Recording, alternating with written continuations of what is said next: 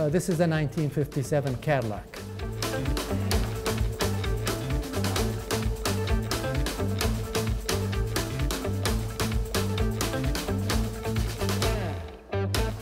Uh, this part of my house is dedicated to cars. It has like 35 cars here and uh, occupying uh, 2,000 uh, square meters.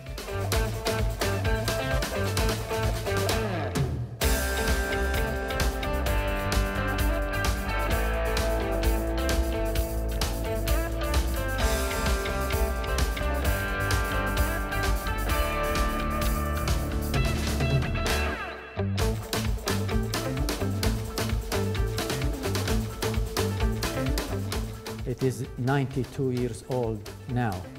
Uh, fortunately, we take good care of it uh, and uh, maintain it uh, properly, and we may uh, start it right now.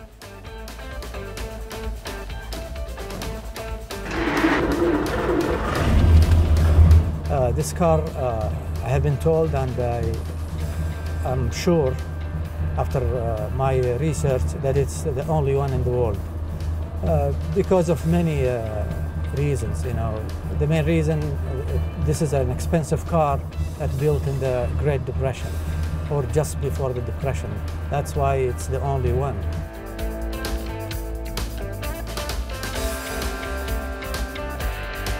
My objective of building this is uh, my retirement project and also as a seed for a bigger project, bigger museum to cater for tourists and uh, uh, manifestation for uh, our Saudi culture and uh, Saudi civilization.